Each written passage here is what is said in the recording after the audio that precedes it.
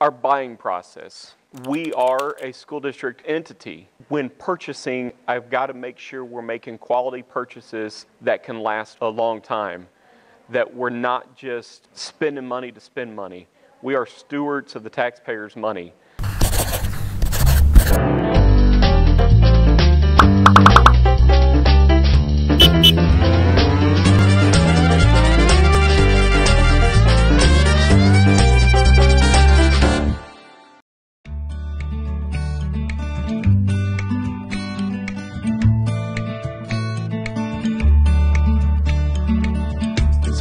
Magnolia ISD is located in north side of Houston, just north of Tomball and west of the Woodlands area. We're a, a smaller school district. We got about 15,000 students. Several years ago, we built the Magnolia Event Center to give a venue for our booster clubs, staff, and, and leadership meetings, and sports organizations to have their banquets we give a spot for prom to happen without having to take our students out of the community. The city of Conroe rents us out for their daddy-daughter dance, which is an awesome event. You got 250 couples of dads and daughters and you know they walk in with kind of this look on what I get myself into. And when they get in there and the music's playing and they're eating the food and they're dancing, see all those happy little faces of those, those children just dancing the night away with their dad. We host various community events such as the Chamber, the Rotary Club, the SOS, which is a community food bank. And then we're also available for outside events. I feel like a building's only good as its use. And if we have calendar space and we're able to hold outside events, private parties, then, then bring them on. Let's use this building, let's use it for the community, and do what we can to host multiple events here. I worked at a Boy Scout camp one time, and during the training, the motto was give them the pickle. What? Give them the pickle. So there's a YouTube video, give them the pickle. It's about a um, burger shop that had an elderly couple come in all the time, and this guy always ordered a burger with extra pickles. And at some point in time, they started charging 75 cents extra for the extra pickles. And that guy said, No, thank you. Left, wrote a I don't know why you're charging me extra money for pickles. Da, da, da, da, I'm not going to shop there anymore. And the owner saw that letter and said, Why are we going to lose a customer over extra pickles? No, here's some coupons for free burgers. Come back. We're not going to charge you for extra pickles. You know, it's, it's the customer service aspect of how can we bend over backwards to make your experience, your event, the best it is. Because for me, it's number 200 of 500 for the year, but for them, it might be their only experience at our building.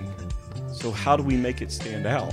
How do we present food where it's picture worthy? How do we serve food where it's picture worthy? Our buying process. We are a school district entity. We're held accountable to the taxpayers. So when purchasing, I've got to make sure we're making quality purchases that can last a long time that we're not just spending money to spend money.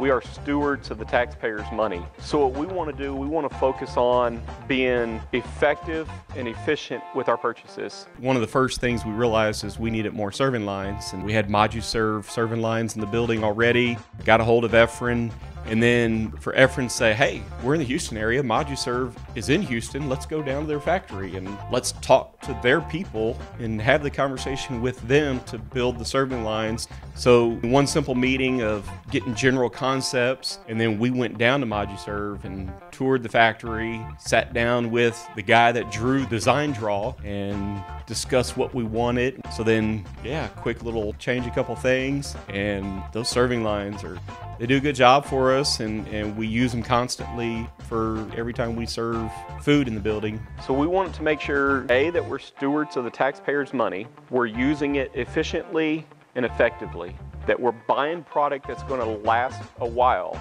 It's not going to break on first use.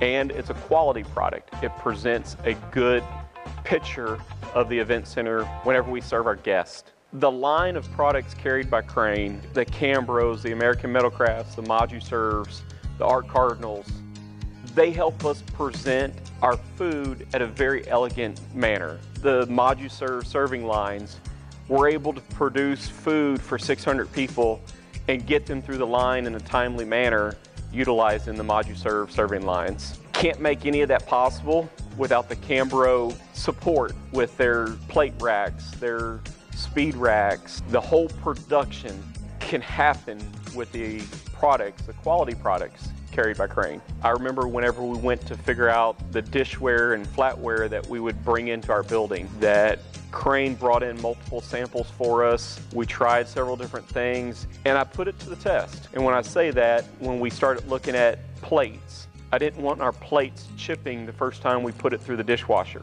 So I literally took a knife and held the plate to the side and hammered the plate with a knife to see if it would chip. It didn't. I want the community to know that Magnolia Event Center is here to host primarily school district events, followed by community events, and then private events. In doing that, we want our guests to have an exceptional experience every time. We want to do what we can to make their event to be a success. We want to make sure that if it's your wedding that you're hosting here, everything for your wedding runs smoothly. If we're hosting a nonprofit group, that we're doing everything we can to help build the fundraiser to make a good impression of the nonprofit to the community. And whatever we can do to assist in that, we want to give it our max effort.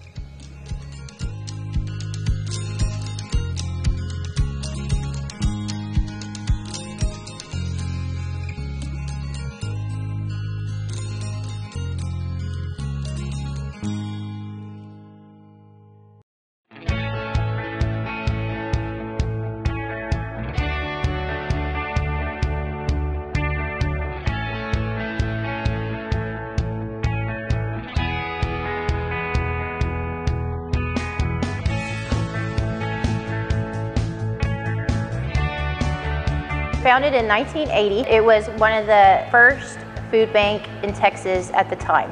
Now we are feeding 120,000 individuals every week through a lot of our different programs.